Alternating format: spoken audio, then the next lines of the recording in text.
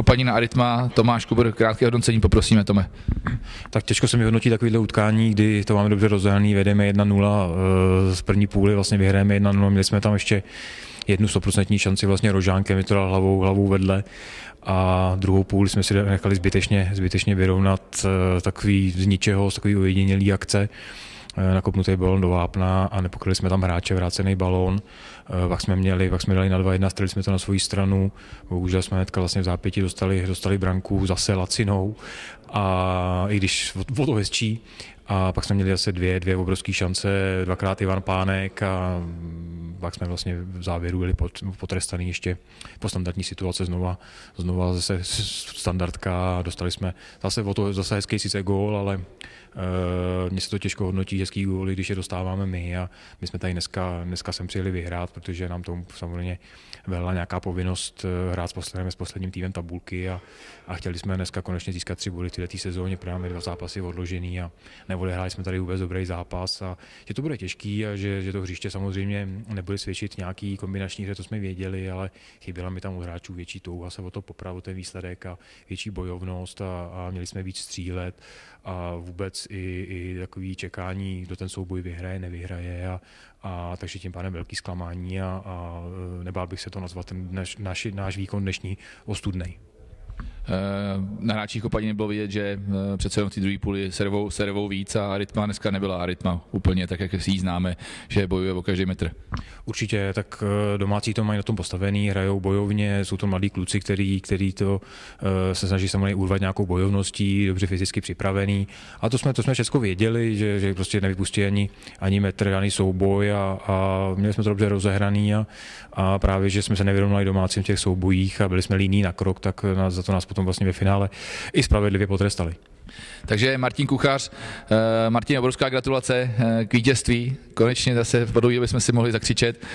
3-2 eh, výhra, jak si utkání viděl? Bylo to velice dramatické až do poslední chvíle. Hmm, potvrdilo se, že prostě je to derby a to derby volí. My jsme k tomu přistoupili zodpovědně jako k posledním dvou zápasům, ale byli jsme důslednější, důslednější ve hře, jak dozadu, tak jsme byli aktivnější dopředu a byli jsme za to odměněni. A přidaná hodnota, jako je u Barcelony Messi, u nás je to bohužel Sternedel. Eh, Bouš, eh, dva góly, nádherný, určitě eh, ten zápas rozhodl, asi by ho, by ho vyhodnotil jako nejlepšího hráče k utkání závěru.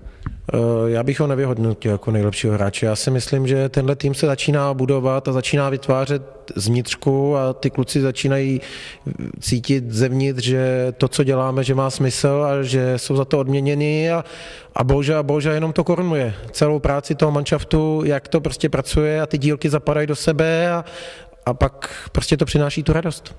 Dvakrát jsme museli uh, sklopit hlavu před, při gólu a dvakrát jsme museli dotahovat vedení soupeře. Jak ti bylo? Uh, já si myslím, že tohle nám zaplať pámbu nedělá problémy, jak prostě zápas s Hořovičkem, prostě jsme schopní to dotáhnout, jsme, jsme silní zevnitř, protože ta parta prostě začíná fungovat a proto jsme silní. Takže tyhle momenty nás spíš naopak nakopnou k ještě větší aktivitě a zaplať pambu, když je to korunovaný takovýmhle nádhernými góly, góly, tak je to nádhera.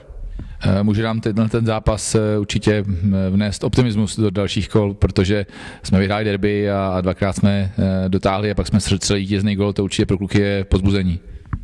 Každá, každá takováhle výhra prostě mančav pozbudí a teď jde o to, aby jsme to udrželi na téhle vítězní vlně a pak se ukáže, kolik bodů to přinese.